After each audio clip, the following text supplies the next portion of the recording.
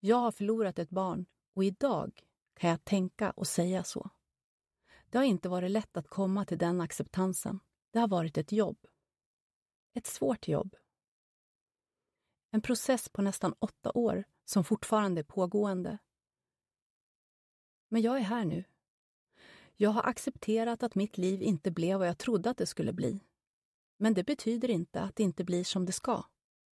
Om jag, som har förlorat mitt barn, mitt 17-åriga äktenskap, mitt hem, flera nära vänner, min förväntade framtid, med övertygelse kan säga att det finns en mening med allt, så tror jag faktiskt att jag är något på spåret. Kan jag överleva en så omfattande förlust och sorg och må bra igen, så tror jag på riktigt att så gott som alla kan må bra och bli lyckliga. Men det är ett aktivt val och ett jobb att utföra.